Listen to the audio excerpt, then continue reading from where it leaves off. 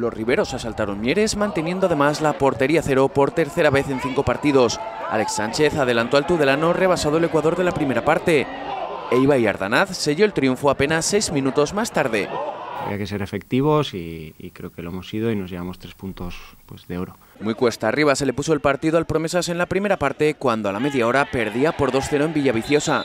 El Lealtad se adelantó de penalti y amplió su renta siete minutos más tarde.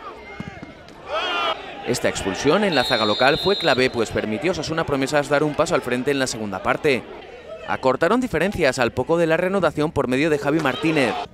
Y Quique Barja igualó la contienda cuando aún restaba casi media hora para la conclusión. Nosotros en, en durante toda la segunda parte pues intentemos darle la, la, vuelta al marcador sin conseguirlo del todo. Según lo visto en Mercatondoa, los estillicas merecieron mejor suerte. Y es que los locales cerraron muchas ocasiones. Perdonaron y lo acabaron pagando.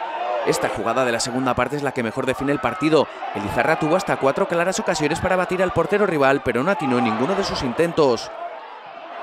Un ex de Lizarra Pito inició la jugada del único tanto del partido que materializó Cerbero, quien como ocurriera la semana pasada con la Peña Sport, volvió a ser el verdugo de un equipo navarro, esta vez en el 87 de encuentro. No pasa nada, es el trabajo, es seguir, no ponernos nerviosos, saber qué, qué va a llegar y cuando llegue sabemos que va a ir todo para arriba. La Peña Sport fue vapuleada por el filial del Sporting de Gijón.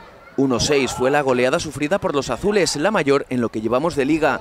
Los locales aguantaron el tipo en la primera parte, se fueron 0-2 al descanso.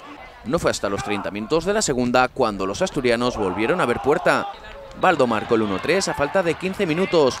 Sin embargo, esta expulsión de Neco y la posterior transformación de la falta directa acabó por hundir a la Peña Sport. Con 3-0, pues bueno, es más fácil, ¿no? El rival te deja más campo, pero bueno, eh, sobre todo el equipo no ha competido hoy como, como venía compitiendo. El Sporting hizo sangre en el 89 primero y en el descuento después. El colegiado pitó el final, nada más marcarse el sexto tanto. La Peña Sport es el único equipo del grupo que no ha sumado un solo punto.